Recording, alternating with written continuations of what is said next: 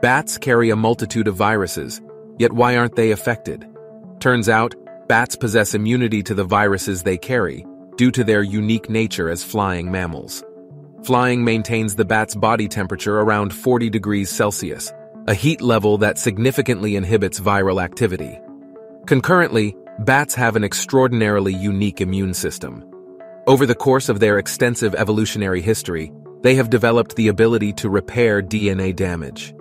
This specialized immunity creates a long-standing symbiosis with the viruses they carry.